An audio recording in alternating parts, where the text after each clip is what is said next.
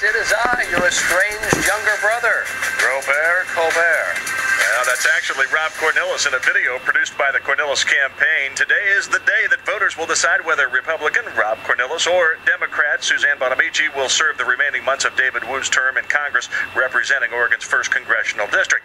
Joining us live on the early morning update is candidate Cornilles. Uh, Rob, before we talk about the election, tell us about this video in which you portray Stephen Colbert's brother. You're pretty good at this. well, uh, it was just a couple of weeks ago, uh, late some Saturday night. Uh, my staff has always said that uh, that I, I kind of have a resemblance to Steve, Stephen Colbert. So at the end of a long campaign week, we're about ready to get to go home, but we had a volunteer in the office who's uh, a videographer, and we started just chatting about it. So we threw together a script and uh, experienced a little frivolity on the campaign trail in our office. I think it was good fun for everybody. Did Colbert ever respond?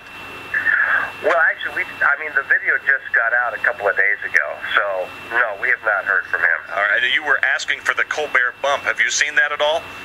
Well, I think we have, Scott. Uh, it's it's been very very interesting over the last several days.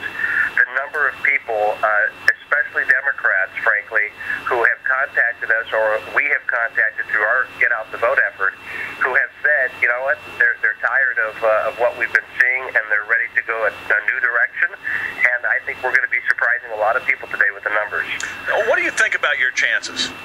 Well, I think they're very good. I mean, to begin with, they they admittedly, uh, I have an uphill climb with the registration disparity in this district. Uh, the fact that we haven't had a Republican in 38 years representing Northwest Oregon. So, you know, I went in uh, eyes wide open. However, I think the fact is that everyone recognizes we need jobs in this state, no matter where you live in the state. Even if you have a job, when others don't, it pulls the state down. And so when they look at the two candidates, they have recognized that I have job creation experience, uh, and and they recognize that that kind of perspective will be, be extremely helpful in Washington today. Not to mention, it'd be a great way to champion what we do so well here in the northern uh, northwest part of the state.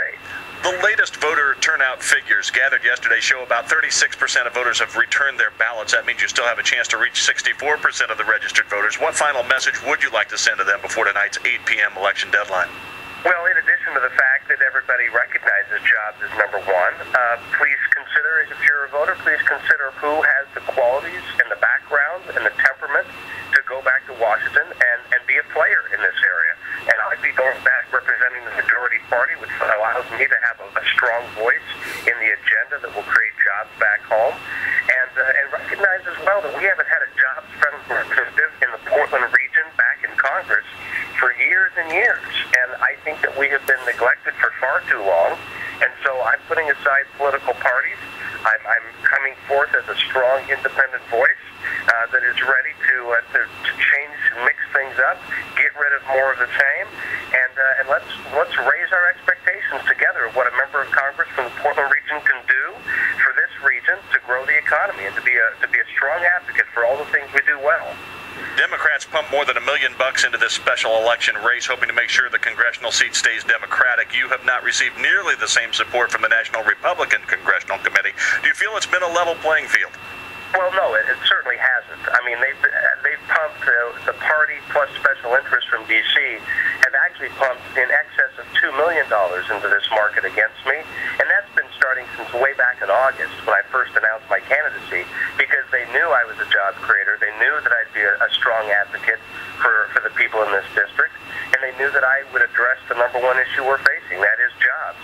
So uh, it's it's been kind of a David and Goliath type scenario, but no tears on my side. The fact that the that the Republicans have not jumped in, I think, frankly, is is a, a, a compliment, and that it shows the confidence they have in my ability. Uh, the other side probably has a lack of confidence in their candidate's ability to win this thing without their major help. Rob, you've been great to join us here on KEX throughout the campaign. We thank you and wish you good luck. We will talk with you again tomorrow, and we will link your Colbert video to our website, 1190kex.com. Thank you, Scott. Good morning. Very good. Thank you. We'll be talking live with Democratic candidate Suzanne Bonamici today.